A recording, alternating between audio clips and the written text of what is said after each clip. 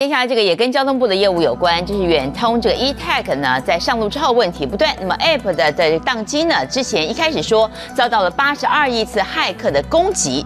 那么当时呢被发现这个为什么会有这么多骇客攻击次数这么之高？而现在被发现呢，这其实是谎话一宗。行政院的资安办公室提出了报告，表示远通的 App 的系统设计大有问题，所以就说跟骇客毫无关联。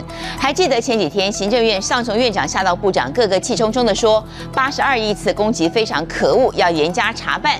现在消息公布是自己打自己，尴尬到不行。而到底是哪一家公司设计出如此低劣的 App 呢？远通以签订保密协议为由，拒绝透露相关细节。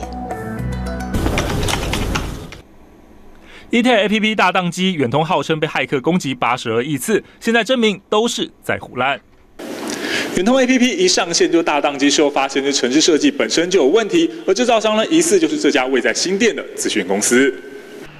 系统设计超拉差，却推是骇客入侵。远通至今以签了保密条款为由，拒绝透露是找了哪家设计公司，只说是国际知名，想不到上路就出包。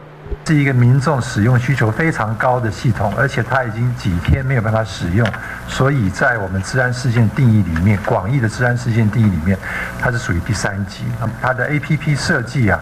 的确是有些逻辑上的缺失。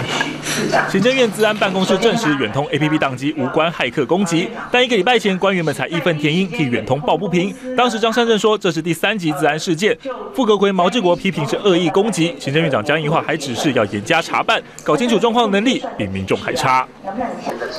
在政府查明真相之前，网友老早推出漫画《酷搜》模拟世界骇客大会。只见各国纷纷吹嘘自己多厉害时，台湾抛出被害八十二亿次的惊人数字，顿时让大家闭嘴。其实远通最近才遭爆料，网络只有一百 M，防火墙是小学等级，使用古董级伺服器根本无法应付庞大需求。远通扯谎推责任，政府搞不清楚状况先背书，如今真相大白都很无能。